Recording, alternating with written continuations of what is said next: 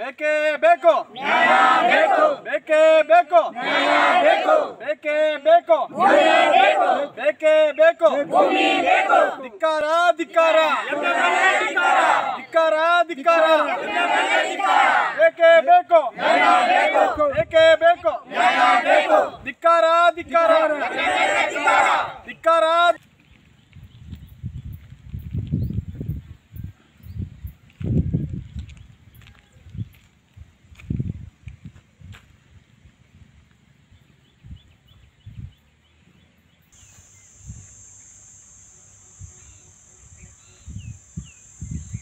ಬೇಕೇ ಬೇಕು. ಬೇಕೇ. ಬೇಕು ಬೇಕೇ. ಬೇಕು. ಬೇಕೇ ಬೇಕು. ಧಿಕ್ಕಾರ ಧಿಕ್ಕಾರ. ಧಿಕ್ಕಾರ ಧಿಕ್ಕಾರ. ಬೇಕೇ. ಬೇಕು. ಬೇಕೇ ಬೇಕು ಧಿಕ್ಕಾರ ಧಿಕ್ಕಾರ ಧಿಕ್ಕಾರ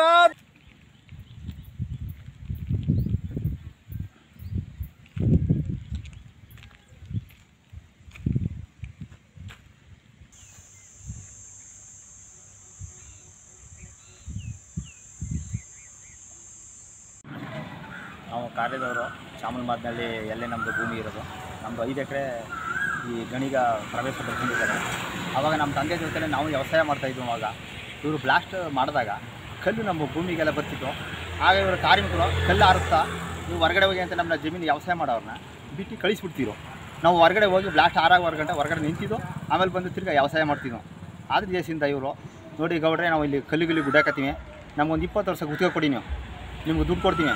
ಅಂದ್ಬಿಟ್ಟು ನಮಗೆ ಹದಿನೆಂಟು ಸಾವಿರ ರೂಪಾಯಿನಾಗ ಗುತ್ತಿಗೆ ಕೊಟ್ಕೊಟ್ರು ಇಪ್ಪತ್ತು ವರ್ಷ ಅಂದ್ಬಿಟ್ಟು. ನಾವು ಅದು ಕೊಟ್ಟು ಆಮೇಲೆ ಏನು ಹೇಳಿದ್ರು? ನಾವು ಭೂಮಿನೇ ನೆಚ್ಕೊಂಡಿದ್ದೀವಿ ನಮಗೆ ಬೇರೆ ವಿಧಿ ಇಲ್ಲ ಅಂತ ಕೇಳಗಂಟ ನಿಮ್ಮ ಹುಡುಗರು ಇನ್ನೂ ಸ್ವಲ್ಪ ದೊಡ್ಡವರಲ್ಲಿ ನಾವು ಕೆಲಸ ಕೊಡ್ತೀವಿ ಅವ್ರಿಗೆ. ಕೆಲಸ ಆಗುತ್ತೆ. ನಿಮ್ಮ ಭೂಮಿನೇ ನಿಮ್ಗೆ ಬಿಟ್ಕೊಡ್ತೀವಿ ಅವಾಗ. ಇಪ್ಪತ್ತು ವರ್ಷ ಗಂಟ ನಮಗೆ ಕೆಲಸನೂ ಕೊಡ್ತೀವಿ ಅಂತ ಹೇಳಿದ್ರು. ಆವಾಗ ಇಪ್ಪತ್ತು ವರ್ಷ ಕಳೆದ ಮೇಲೆ ನಾವು ನಂತರ ನಮಗೆ ಇಪ್ಪತ್ತು ವರ್ಷ ಐದು ಹದಿನಾರು ವರ್ಷ ಎಷ್ಟುವರೆಗೆ ನಡೆದಿದೆ. ಅಲ್ಲಿಂದ ನಮ್ಮ ಜಮೀನು ಬಿಟ್ಕೊಡ್ಲಿಲ್ಲ ಇವರು. ನಮ್ಮನ್ನ ತಿರುಗಿ ತಿರುಗಿ ಇದಾಗ್ಬಿಟ್ಟಿದೆ.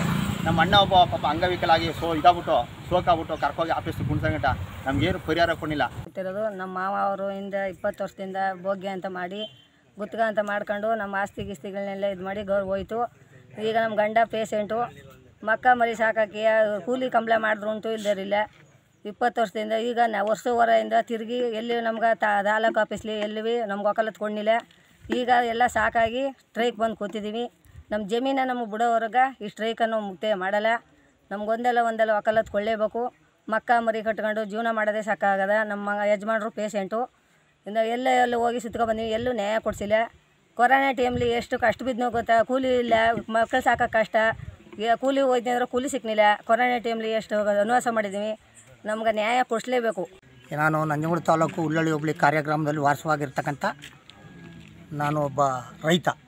ನನ್ನ ಜಮೀನು ಎಂಬತ್ತೊಂದು, ಎಂಬತ್ತೆರಡನೇ ಸಾರಿನಲ್ಲಿ ಗುತ್ತಿಗೆ ಅಂತೇಳಿ, ಇಪ್ಪತ್ತು ವರ್ಷ ಗುತ್ತಿಗೆ ಅಂತೇಳಿ ಪಡೆದು, ಈಗ ನಲವತ್ತು ವರ್ಷಗಳಾಗಿದ್ದರೂ ನಮ್ಗೆ ಜಮೀನು ಕೊಂಡೋಗಿ ನಮ್ಮ ವಾಸಕ್ಕೆ ಬಿಡ್ದಿಗೆ ಅವರೇ ಲಮಟಾಯಿಸ್ಕೆ ಹೋಯ್ತಾವ್ರೆ. ನಾವು ಬೇಕಾದಷ್ಟು ಆಫೀಸ್ಗಳಿಗೆ, ಈ ಎಲ್ಲ ಎಂ ಎಲ್ ಎಗಳಿಗೆ, ಮತ್ತು ಅವ್ರ ಹೆಡ್ ಆಫೀಸ್ಗೆ, ಅವ್ರ ಡಿ ಸಿ ತವಕ್ಕೆಲ್ಲ ಹೋಗಿದ್ದು ಬಂದಿದ್ದೀವಿ, ನಮ್ಗೆ ಯಾವುದೂ ನ್ಯಾಯ ದೊರಕಿಸಿಲ್ಲ ಅವರು. ನಾವು ಆದ್ದರಿಂದ ಈಗ ಇಲ್ಲಿ ನಾವು ಧರಣಿ ಕೂತಿದ್ದೀವಿ. ಅವರು ನ್ಯಾಯ ನಮಗೆ ದೊರಸ್ಕೊಡೋಗಂಟು ನಾವು ಈ ಧರಣಿನ ನಿಲ್ಲಿಸಲ್ಲ. ಈ ಜಮೀನನ್ನು ನಾವು ಇವರು ಗಣಿಗಾರಿಕೆ ಮಾಡಲಿಕ್ಕೆ ಅಂತ ಅಂದ್ಬಿಟ್ಟು ಗುತ್ತಿಗೆ ಆಧಾರದಲ್ಲಿ ತಗೊಂಡಿದ್ದಾರೆ. ಇಪ್ಪತ್ತು ವರ್ಷ ಗುತ್ತಿಗೆ ಅಂತ ಹೇಳ್ಬಿಟ್ಟು ಆರ್ ಟಿ ಸಿ ಕೂಡ ಅದನ್ನು ನಮ್ಮದಾಗಿದೆ. ಇಪ್ಪತ್ತು ವರ್ಷ ಕಳೆದು ಈಗ ಹದಿನಾರು ವರ್ಷ ಹೆಚ್ಚುವರಿ ಆಗಿದೆ. ಆದರೂ ಕೂಡ ಇವರು ನಮಗೆ ಜಮೀನನ್ನು ಹಿಂದಿರುಗಿಸಿಲ್ಲ. ಸೂಕ್ತ ಪರಿಹಾರ ಕೂಡ ಕೊಟ್ಟಿಲ್ಲ. ನಾವು ಇವ್ರನ್ನ ಅಧಿಕಾರಿಗಳನ್ನ ವಿಚಾರಿಸಿದಾಗ ಅವರು ಅವರ ಡಾಕ್ಯುಮೆಂಟ್ಸಲ್ಲಿ ಲೋಪ ಇರೋದನ್ನು ಒಪ್ಕೊಂಡಿದ್ದಾರೆ. ಪರಿಹಾರ ನೀಡ್ತೀವಿ ಅಂತ ಹೇಳಿದ್ದಾರೆ. ಆದರೂ ಇಲ್ಲಿವರೆಗೂ ನಮಗೆ ಸೂಕ್ತವಾದ ಪರಿಹಾರನಾಗಲಿ ಸೂಕ್ತವಾದ ಮಾತುಕತೆನೇ ಆಗಲಿ ಇನ್ನೂ ನಮಗೆ ಮಾಡಿಲ್ಲ. ಇವರು ಕಾನೂನಾತ್ಮಕವಾಗಿ ಈ ಭೂಮಿಯನ್ನು ಖರೀದಿಸುವುದಿಲ್ಲ, ಗುತ್ತಿಗೆ ಆಗಲಿ, ಏನಾಗಲಿ ಕಾನೂನು ಪ್ರಕಾರವಾಗಿ ಮಾಡಿಲ್ಲ. ಡಾಕ್ಯುಮೆಂಟ್ಸ್ ಕೂಡ ನಮ್ಮ ಅದರ ಹೆಸರುಗಳಲ್ಲೇ ಇವೆ. ಕಾನೂನು ಪ್ರಕಾರ ಇವರು ಖರೀದಿ ವಿಲೇವಾರಿನ ಮಾಡಿಲ್ಲ. ಆದ್ದರಿಂದ ನಮಗೆ ಸೂಕ್ತ ನ್ಯಾಯ ಬೇಕು ಅಂದ್ಬಿಟ್ಟು ನಾವು ಪ್ರತಿಭಟನೆ ಹಮ್ಮಿಕೊಂಡಿದ್ದೀವಿ. ಅನಿರ್ದಿಷ್ಟಾವಧಿ ಅನಿರ್ದಿಷ್ಟಾವಧಿಯವರೆಗೂ ನಮಗೆ ಸೂಕ್ತ ಪರಿಹಾರ ಸಿಗೋವರೆಗೂ ನಾವು ಪ್ರತಿಭಟನೆ ನಿಲ್ಲಿಸೋದಿಲ್ಲ ಪ್ರತಿಭಟನೆ ಮಾಡ್ತೀವಿ ಅಂತ ಹೇಳ್ತೇವೆ